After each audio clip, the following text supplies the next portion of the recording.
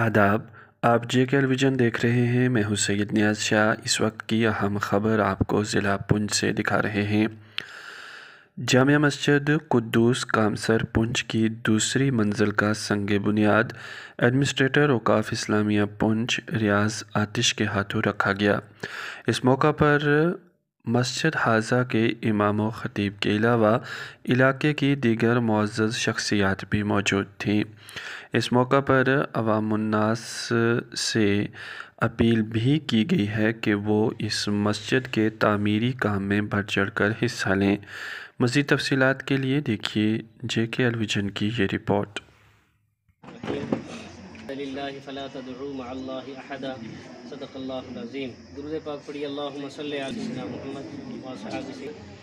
हमारे बीच आज के मेहमान, वकाफ़ इस्लामिया के एडमिनिस्ट्रेटर इज़्ज़त माब अली जनाब मोहतरम रियाज आतिश साहब, जो पिछले कई सालों से यकीनन जो काम इन्होंने किया है, ये आपसे क्या शायद पूंछ से भाग जाता हो? इस हिसाब से यहाँ पूंछ का माहौल ही एक अलग टाइप का है। बाकी जहाँ तक तलक है, यहाँ की जो मस्जिद है, जामा मस्जिद जो आपने यहाँ पे शुरू मतलब इसका जो जामा मस्जिद डिक्लेयर कर दी शायद अब आपने पहले। तो जहाँ तक मैं औकाफ़ इस्लामिया की बात करूँगा, पूंछ यूनिट की बात करूँगा। एजाज भाई भी हैं यहाँ पे आरिफ साहब भी हैं यहाँ पे। तो इन वक्ता वक्ता हम आपके साथ, शाना बिशाना, हर स्टेप में हम आपके साथ रहेंगे। बस आप टच में हमारे रहें इन जो भी हमसे, मैं यहाँ पे कोई ऐसे ये अनाउंस करके नहीं जाऊँगा कि मैं इतना दे रहा हूँ। एजाज भाई आएँगे, आरिफ भाई ऑफ़िस में बैठ, आएँगे मेरे पास। इन जो भी होगा अच्छा ही होगा। ये एक सरदार साहब की जगह थी। तो उनसे जगह खरीदी गई मरूसी थी ये।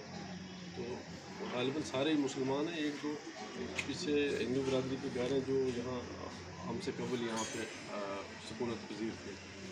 मस्जिद बनाई हाफिज़ साहब की बड़ी उम्र होगी इस मस्जिद में। मेरे ख्याल शुरू में नमाज़ इन्होंने कराई थी तो आज तक बारह तेरह साल। देख रहा था कि हमारे पास जगह नहीं थी लोग बाहर थे। तो मतलब ये शिद्दत से पिछले साल लॉकडाउन में ये एहसास हुआ इस चीज़ का कि हमारे पास बच्चे भी साठ सत्तर बच्चे यहाँ मोहल्ले के आते हैं पढ़ने के लिए। तो नीचे भी काफ़ी परेशानी होती थी रमज़ान में भी और अब तो हमारी मस्जिद मतलब अब ये जामा मस्जिद होगी। मेरे एक साथी थे आपके इंस्पेक्टर काफ साहब। उनसे मैंने एक बार अर्ज़ की तो उन्होंने कहा जी आतिश साहब हमारे साथी भी हैं दोस्त भी हैं। तो ये कोई हमारे लिए बड़ा काम नहीं है पर मैं आतिश साहब मैं तो कभी नहीं आ सकता आपके पास? तो, तो उन्होंने कहा जी मैं आतिश साहब को भेजूँगा वहाँ पर मोदी साहब से आपकी मुलाकात होती रही। तो आप हमें आज जिस तरह आए आगे भी आते रहे हमारी रहनमाई करते रहे क्या करना आते रहे। तो ये हमारे जो यहाँ पे काबिल एहतराम,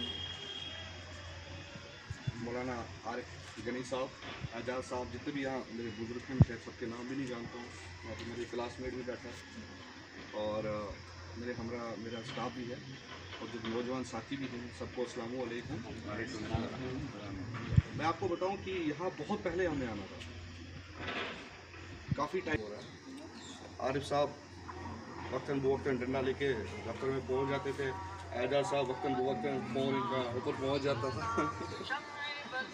तो लॉकडाउन की वजह से वो थोड़ा सा आगे पीछे मसले, मसाइल काफ़ी थे, जिनकी वजह से शायद मैं यहाँ नहीं पहुँच पाया। शायद जो लोगों को समझ में शायद औकाफ का कुछ और मतलब हुआ करता था इससे पहले। जहाँ तक मैंने समझा है, जब से मैंने चार्ज लिया है औकाफ को ये समझा जाता था उस टाइम कि खाली यहाँ ज़मीनें हैं तो आओ प्लाट बनाते हैं, मकान बनाते बात करते हैं। इससे ज़्यादा औकाफ का कोई सिलसिला नहीं था, पहुँच माशाल्लाह, मेरे आने के बाद जब मैंने एक मीटिंग की पूछ में, डाक बंगले में मैंने मीटिंग की, तमाम हमारे दीन थे, डिस्ट्रिक्ट पूछ के, और जो यहाँ के प्रोमिनेंट हैं